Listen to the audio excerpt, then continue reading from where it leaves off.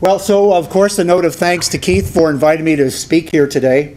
I was at the mountain pine beetle session that was held in this room a year ago, and I thought that was a great event, and I'm looking forward to this being even bigger and better. And I wanted to say thanks to Fran, like everybody else has said, thanks to Fran for uh, making the accommodation arrangements. That has been um, very helpful, and I have to say I'm very impressed with the level of organization that Keith and Fran have brought to the meeting. Um, so what I'm going to try to do today is kind of set the scene for all the uh, other talks that you're going to be listening to today. I'm going to kind of provide an overview of uh, threats to the western boreal forest with an emphasis on climate change, but not exclusively climate change. And the idea here is to kind of whet your appetite for the more detailed talks that are coming up afterwards. But I'd like to start with a quotation from one of the best known climate scientists that uh, most of you will probably be familiar with, and that is the future ain't what it used to be. And of course, you know, it goes without saying that uh, things are going to be changing in the future. But I think the reason I want to emphasize this is because the natural human inclination is to assume that tomorrow is going to be like yesterday. And I think most of us who work in this area are pretty convinced that that isn't the case. And so we really need to start thinking about what uh, climate change and other impacts of industrial development and other things are going to be bringing to us in the form of the forest, but also in the form of how we manage the forest and how we may need to change our practices in order to accommodate those changes. So what I wanted to start with here is really a global view of potential tipping points around the world. This is from a, a very interesting paper that I highly recommend it was written 10 years ago, so it's not really current, but at the same time, it identifies an issue that I think is, is really important and provides the theme for, I think, what's, what's going to be uh, talked about over the next couple of days. So, this idea of a tipping point is the point at which a system, a complex ecological system in our case, is, is at a point in which a little bit more stress causes it to shift into a different state. So, for example, in the boreal forest, we're all familiar with the southern edge of the of the boreal, which is not very far away from here and is not very far away from where I live in, in Saskatoon. And that southern edge of the boreal is subject to drought events, subject to fires, subject to a lot of human interventions. And the question on the table here, again identified by these authors, is is that system, that boreal forest system, close to the point where a little bit of additional stress in terms of drought or in terms of more intense fires or a combination of things is that system in a position where it may turn into something else. So these authors identify that as being a biome shift where the boreal forest may flip into a grassland or aspen parkland or something like that, which, which we're familiar with in this area. So some of the other tipping points there, the um, Atlantic Meridional Overturning Circulation, AMOC, which is the, the conveyor belt in the ocean that brings warm surface water to the northern part of Europe and brings colder water back down towards the equator. Again, a complicated system. Um, and with increased glacier melting and ice cap melting, is that system uh, at a point where it may shift into a different state?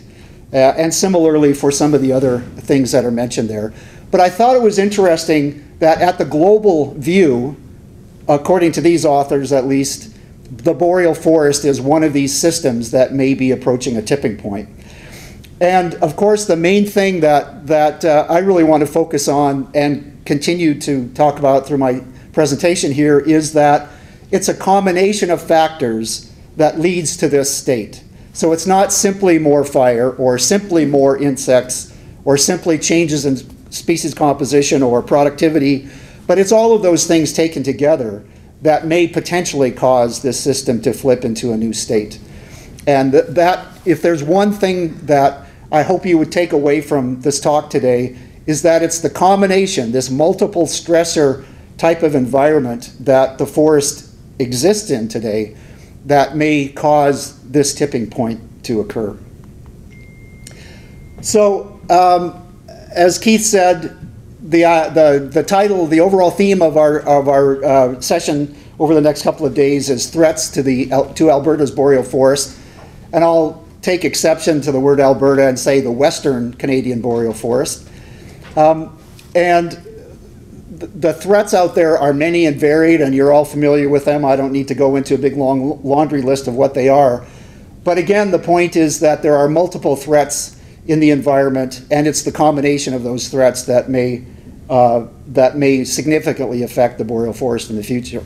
So I don't intend to go into a lot of detail about any particular one of these items because we have a, a lot of people coming up after me that know way more about these individual events than I do. But I just wanted to give a kind of an overview of what some of those might be. And then, um, you know, you might interpret that first part of the talk as being doom and gloom. So the second part of the talk will be, and what can we do about it? So I'll, I'll have uh, maybe a, a, more positive message towards the end. So as we all know, the boreal forest is primarily a fire-driven ecosystem. All of the patterns on the landscape and the processes that are occurring out there are affected by fire to one extent or another. Uh, it affects all trophic levels from the bugs and the slugs in the soil to the vegetation to the wildlife that occurs in those areas. And so fire is ubiquitous in terms of its impact to the ecosystem. But because that's been the case for many thousands of years, the boreal forest is very strongly adapted to successfully recovering after fire. And it's a relatively rare event uh, in which fire is so severe that it really materially affects the boreal forest in the sense of it turning into something else. So the boreal forest is very robust and resilient to fire. Um, and I, so I don't think that fire just by itself, even if it becomes more, more common and more uh, severe, will necessarily change the character of the boreal. I mean, it will at the local level, but probably not at the, at the larger level. But nevertheless, we do expect changes in the fire regime in the future. Uh, generally speaking, a warmer and drier climate is going to drive more fires and perhaps more severe fires. You know, everybody says, oh, Fort McMurray, that's the future. Well, not necessarily. But it may be the case that those kinds of events occur more frequently in the future than they do today. So, uh, and, and of course, fires are notoriously difficult to predict. So we can't really say, well, what does that really look like in the future? Uh, there's been a lot of modeling analyses over the last 10 or 15 years for the boreal, for the Western Canadian boreal, that attempt to try to look at that but trying to put some real numbers on that's very difficult. However, uh, there, as I say, there has been a lot of work done, and some of the most recent is this piece of work by Yan Boulanger and, and uh, colleagues from the Canadian Forest Service. And in their analysis here, the upper graph shows kind of the baseline level of uh, annual area burned. Uh, sorry, not the baseline level, but the ratio of future area burned to the baseline area burned, which in their case was the amount of fire in the 1961 to 1990 time period. And so the, the, the prairie boreal forest region, Saskatchewan, Alberta, Manitoba, that we're all familiar with, is looking at something like a doubling to a quadrupling of area burned by the end of the century. And what's interesting about this, this is 2014, and if you go back 10 years or so, uh, to other work that has been done, Mike Flannigan and colleagues and other people like that has suggested actually very similar kinds of outcomes. So there seems to be a convergence of the research and modeling right now suggesting that these kinds of numbers perhaps are, are what we may be looking at. But you know, the real answer is we don't really know what, what uh, to expect from fire, except that there's likely to be more of it on the landscape. And that we need to be aware of that and, and start taking that into account for future management planning and uh, resource allocation for suppression systems and things like that. Um, drought, we're going to hear so, a lot more about this from Ted Hogg uh, coming up in a little bit. Uh, what I did a few years ago was take Ted's climate moisture index and calculate it for an area that's just east of Prince Albert in Saskatchewan called the Fort à la Corne Forest. Uh, this is a kind of an isolated island of boreal forest surrounded by agricultural land. And so it's really at the very southern extreme limit of the boreal forest in Saskatchewan on very sandy soils. So it's kind of a marginal forest environment to, to begin with. But if you look at the climate moisture index and you calculate it under a range of different climate scenarios, that's what the numbers at the bottom are, um, you find that under the most extreme climate scenario, the A2, which is from a, a, a previous set of scenarios, that the climate moisture index at the Fort à la Corne in 2050 is the same as the climate moisture index in Swift Current today, which is part of the notorious Palliser Triangle in southwestern Saskatchewan, southeastern Alberta. I don't know if any of you have been to Swift Current, but if you think about that landscape, is there a lot of forest cover? Well, no, not really. Swift Current is not known for being a forested part of the province. And so, if just simply based on this climate moisture index, conditions are going to be significantly drier in the, at least the southern edge of the boreal in the future as compared to today. And similarly, um, in the 2080 time period, the climate moisture index then is the same as that in Estevan today, which is also not known for being a forested part of the province in the very southeastern corner of Saskatchewan. So drought is really, I think, one of the main issues that we are going to be looking at in the future.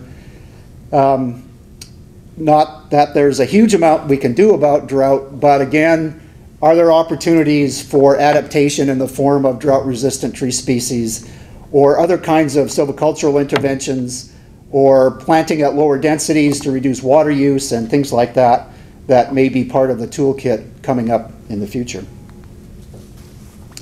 Uh, insects, you know, who am I to talk about insects in a room full of insect experts, so I won't go into this in any detail. We'll be hearing a lot about that coming up.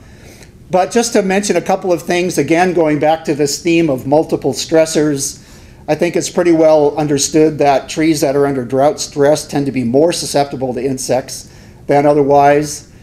Um, we all know that there are exotic species headed our way from the east in terms of the emerald ash borer, and from the west, well, they're already here, mountain pine beetle and others and perhaps others from the south or other directions that we're not aware of yet. But because they're not native, we don't understand what their behavior is going to look like very well. And so uh, exotic insects is likely to be a part of our future in a way that's very difficult to, to predict. And of course, the native species generally don't have any resistance to exotic insects, and so that adds another layer of complexity there.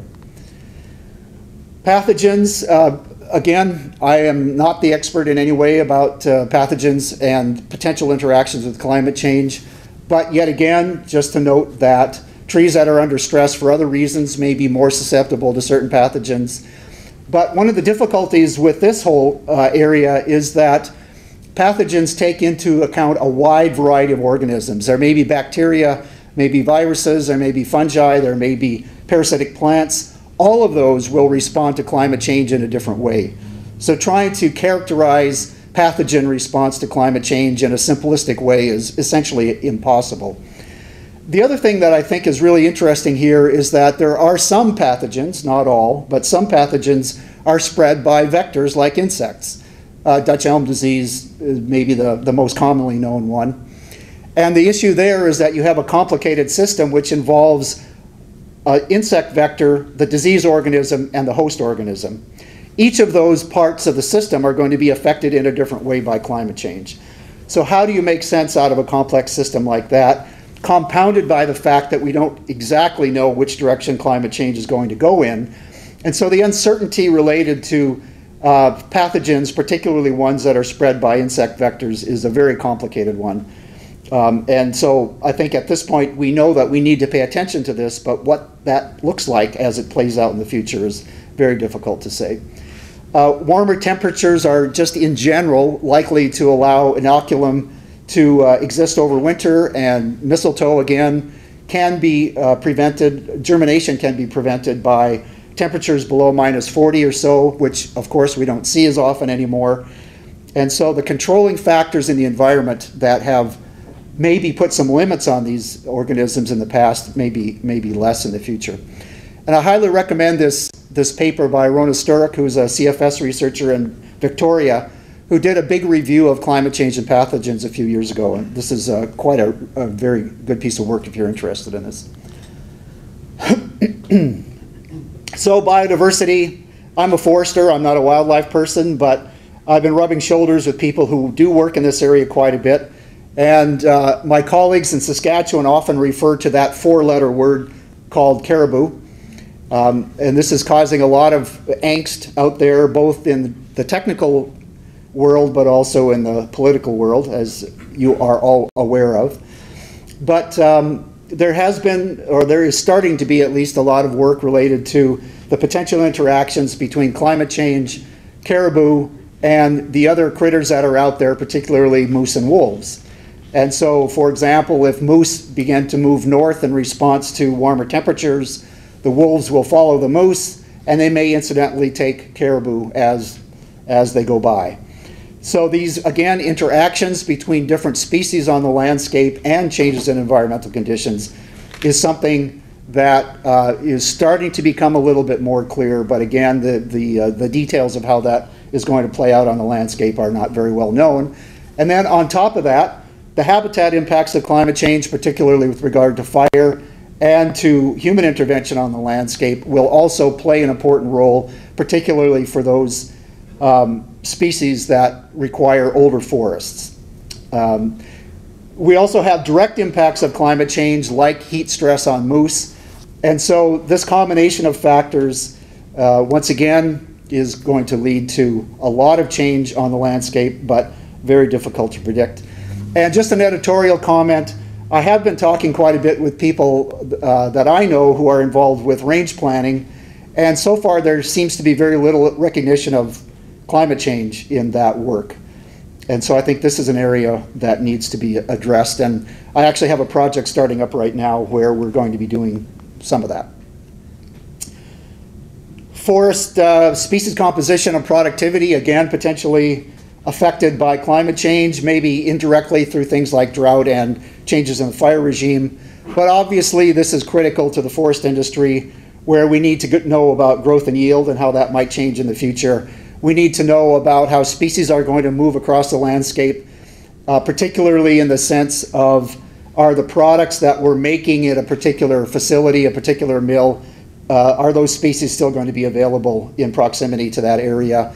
Or are we going to have to physically reorganize ourselves as changes occur on the landscape? For example, if we saw a large increase in fire behavior or fire activity in mixed wood stands, that might tend to encourage hardwood over conifers. And so if you're a conifer uh, user, a sawmill say, then that uh, decrease in conifer cover and increase in hardwoods may not be a good thing for you. So what are the potential responses in, the, in terms of forest management to some of those kinds of changes? Productivity may go up or it may go down. Um, I think there are reasons, depending on site conditions, where if you have, let's say, a fairly rich site with a mixed wood forest and you have adequate moisture and nutrients there, then the increase in CO2 in the atmosphere may result in an increase in productivity. That's been shown certainly in, in laboratory conditions, but how that plays out on the landscape is not very well understood. On the other hand, if you've got a crappy jack pine site on sand dunes, then that CO2 fertilization effect is likely not going to occur because those trees are stressed by lack of moisture and poor nutrient status in the soils. So trying to tease out exactly how that balance is going to play out, um, whether productivity will increase or decrease, is a big question mark, I think, right now but again is essential to understand better for the forest industry. All of these things are very difficult to predict. And last but not least, forest communities. Um, you know, we all know that the downturn in the forest sector has resulted in a lot of hardship for rural communities that are linked strongly to the forest sector. And so all of the things that are happening out in the forest will have ripple effects to forest-based communities. They may be directly affected by threats from wildfire, and you are, are all familiar with examples of how that can happen, but also indirectly through impacts on the forest, which may translate into impacts to the forest industry, which in turn will affect communities. But the thing is, of course, that there's a lot more going on out there than just climate change, and so political change, economic change, as we've seen over the last decade, are also factors affecting forest communities so once again, I want to emphasize this idea of multiple sources of stress, in this case for communities, that may result in hardships, some of which we've already seen. But again, difficult to predict, um, particularly when you bring in economics and politics. Difficult to say how that's going to play. Okay, so um, as I said, a lot of this is doom and gloom, but what I want to do now for the next few minutes is talk about how can the forest sector respond to some of these things. And this is based on about a 10-year uh, project of which I was part. Uh, Kelvin here in the audience was one of the leaders of this work. And it was a, an, an initiative that was fundamentally started by the Canadian Council of Forest Ministers and involved uh, forest practitioners from all of the jurisdictions across Canada. And the idea was to do a lot of work around partly what is the vulnerability of the Canadian forest sector, but I think more important, how do we develop tools for forest managers that allow them to come to grips with the impacts of climate change and help them walk through a procedure of identifying options for adapting to these changes. So that, that's really the, the primary focus of the work. And just generically, we, we refer to this as the CCFM vulnerability approach, vulnerability to climate change. So on the one hand, we know that there are going to be impacts of climate change. I've mentioned a few. You're going to hear a lot more about that over the next couple of days.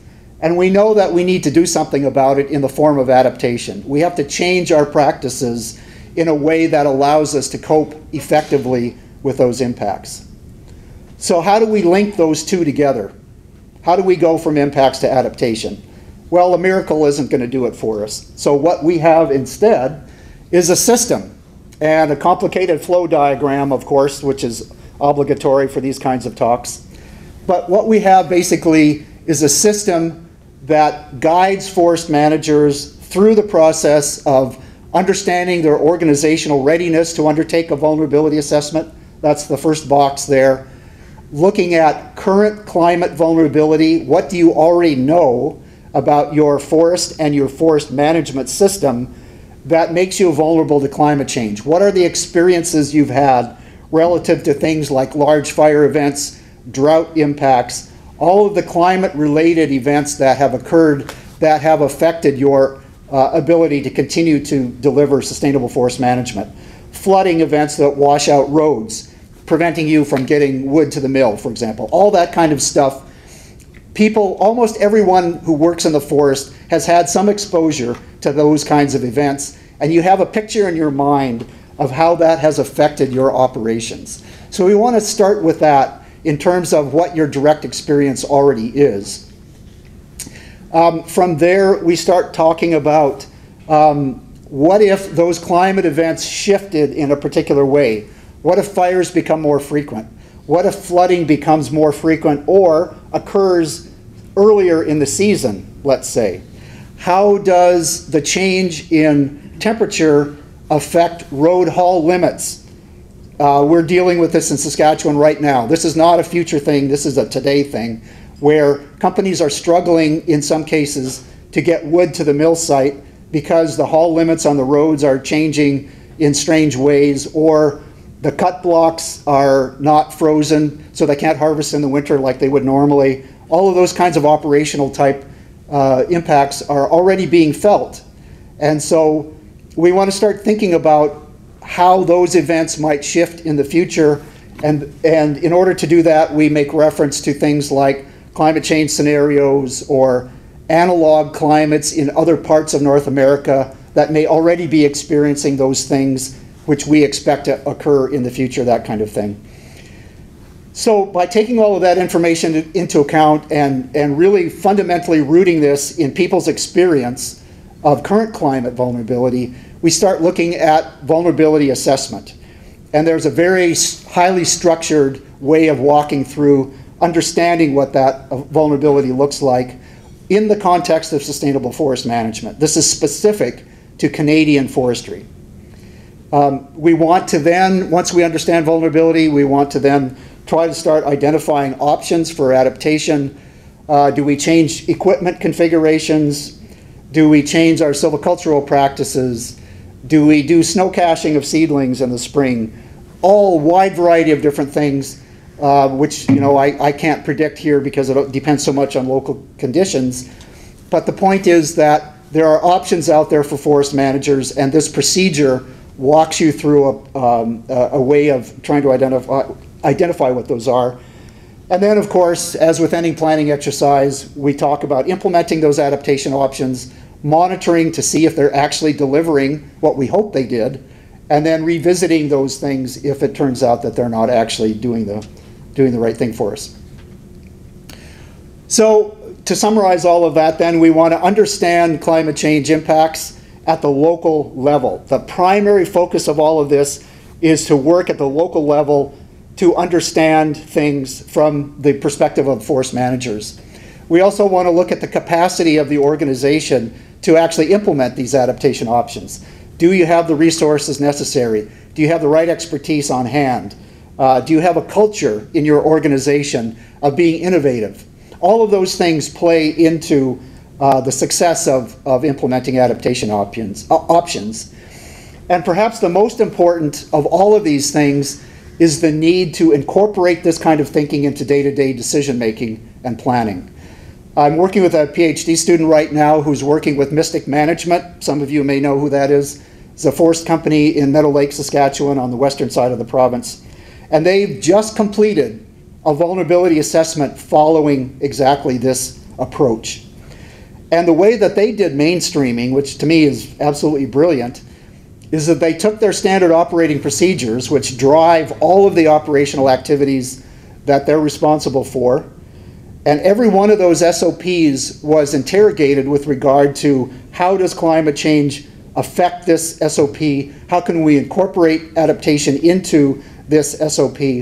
And those documents have now been completed and will be distributed to all of the people in the company because the SOPs are the Bible that tells them how to do their operations. So this to me is the best example I know of of how to mainstream climate change into day-to-day operations through their standard operating procedures. So just to kind of summarize this, I want to emphasize that this whole approach is a self-assessment.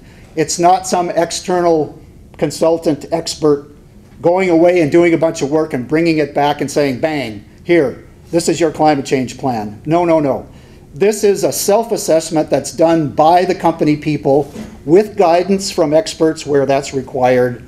And it's based on local management objectives, their local landscape, the policy environment in which they operate, and recognizes the role of stakeholder groups in determining what those adaptation options might be. So it's not a top-down external assessment, it's an internal bottom-up assessment that's led by the company or the, the government department or whoever it might be. It was designed from the bottom up to be relevant to Canadian sustainable forest management practices. So this is not from somewhere else. This is homegrown and, and designed specifically for the way that forestry is practiced in Canada. We have a practitioner's guidebook that is the primary vehicle for assisting people in walking through these assessments, but it's supported by a bunch of other documents, some uh, information on how to use scenarios, how to think about assisted migration, and a variety of other things that are relevant to climate change thinking. And I want to identify Jason Edwards with the Canadian Forest Service here in town, who was the primary architect of that guidebook. Um, he was hoping to be here today, but he wasn't able to. Um, and so far, we've seen this applied to, uh, to an FMA, Forest Management Agreement area in western Saskatchewan, as I mentioned, Mistik. And the government of Manitoba, a couple of years ago, did a forest management plan for one of their forest management units in southeastern Manitoba called the Sandilands area, and they also followed this assessment uh, procedure.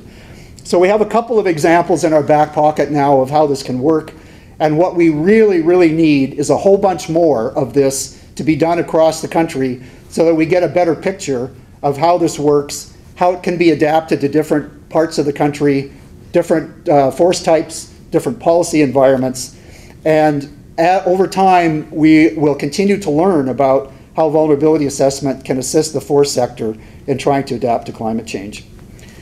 So there's lots and lots and lots of information about this. The CCFM website has all of the documents, including the guidebook, freely available for anyone to take a look at. A bunch of us are members of the Forestry Adaptation Community of Practice, which is run by uh, the University of Sudbury, uh, which is uh, a membership thing which you can sign up, and then there are forums and webinars and all kinds of stuff related to adaptation and forestry. And the Canadian Forest Service has an internal program called the Forest Change Program, and they are busily, as we speak, posting uh, climate change data, tools for adaptation, uh, all kinds of, of things that will be helpful to forest managers for learning how to adapt to climate change. And finally, just a few acknowledgments. The Forestry Working Group of the Adaptation Platform, some of you may be familiar with that, it's an NRCan program. Uh, the Forestry Working Group has been instrumental in, in supporting this work, as has funding from the Canadian Forest Service and other parts of NRCan. Uh, the, province, the provincial and territorial jurisdictions stepped up over the last 10 years and contributed mightily to the development of this approach. And as I said, Jason Edwards was the primary architect of the guidebook, and he and I have enjoyed many discussions over a glass of scotch.